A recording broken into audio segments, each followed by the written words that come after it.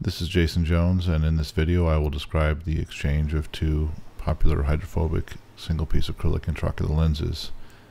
This first lens is an AcrySof lens that has been in the eye for more than a year under softgel viscoelastic tamponade in the anterior chamber, a 30 gauge hypodermic needle uh, using dispersive viscoelastic dissects the peripheral capsule initiating within the crotch of the haptic dioptric junctions.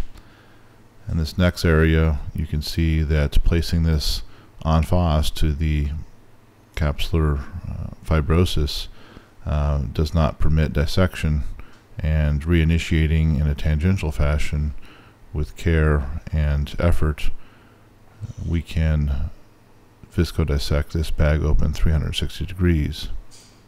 The true issue of mobilizing this lens out of the bag is the terminal haptic bulb which becomes fibrosed in capsular membranes.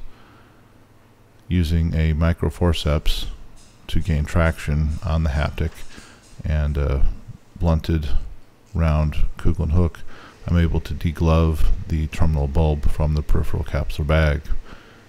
On this other haptic, you can see that uh, this is a more efficient manner in terms of grasping down on the haptic and then degloving using this blunt dissection.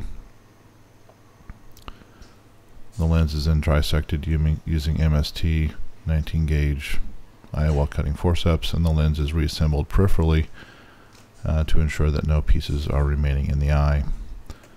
After further viscodissection, a capsular tension ring is placed to ensure adequate stabilization of the next lens to go in the eye, and that is accomplished readily with good centration.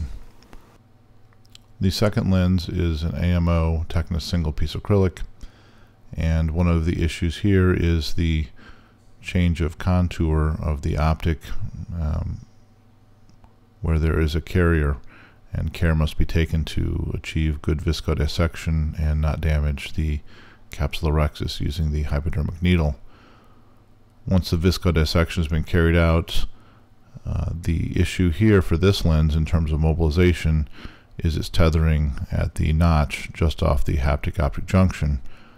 Once this is mobilized centrally, it's just a matter of collapsing the haptic against the capsular and the peripheral haptic thins slightly and readily relieves itself from the peripheral capsule.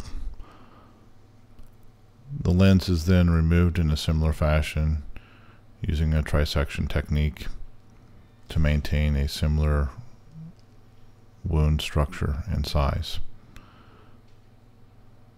Under additional viscoelastic, capsular tension ring is also placed for good stability of the replacement IOL.